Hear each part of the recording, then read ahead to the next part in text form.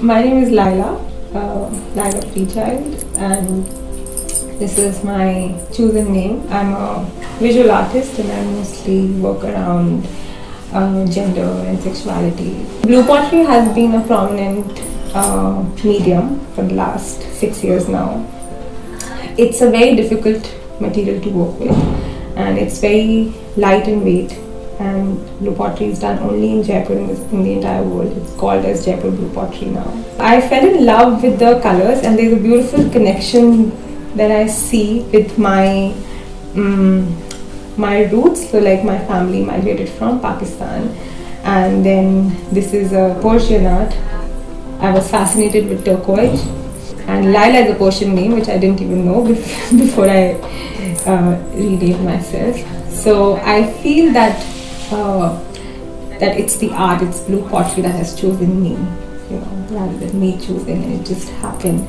I was fascinated when I was going to to the to the artist studio that I would be working. It's such a romantic idea to be working on with clay on the wheel, and then when I found out that you can't work on the wheel, there's there's no clay in it. It's a stoneware, so it's difficult to knead, and if you need more, then it loses its the little plasticity also that it has.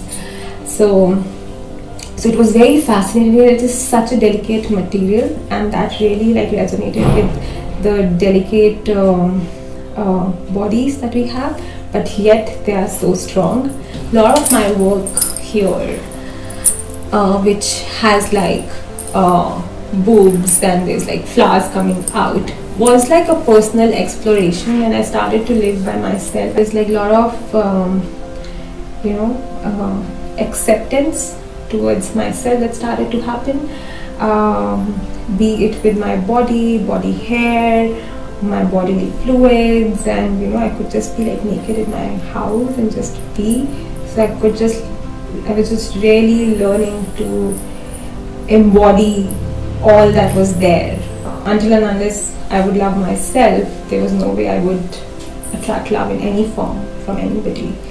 So so I feel that you know self before self love there has to be like self acceptance and self worth that has to happen yeah. I got like some lot of ferns and stuff from a park and i was really fascinated and i just could just see you know how the blades of the fern just really resembled my body hair and it just looked so beautiful.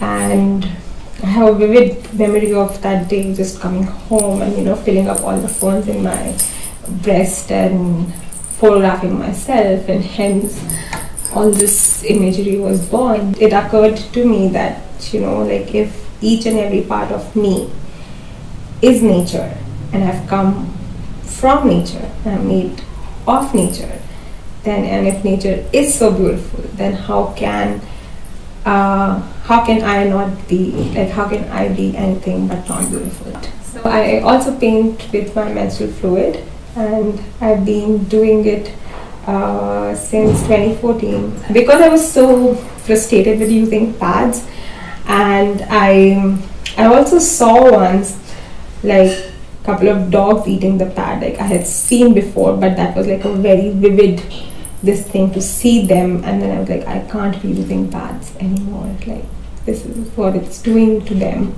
and to the planet and to us and when this cup came, and the first time I used it, and I saw the cup full of this magical fluid in my hand, and suddenly the whole narrative changed. Like I could just see this is the same fluid that has given birth to all of us, the same fluid that brings life. And I just loved the flow, you know, and I, that was just, it started with an experimentation. What happens if I use this as an art material? So that's how it started and since then I never stopped.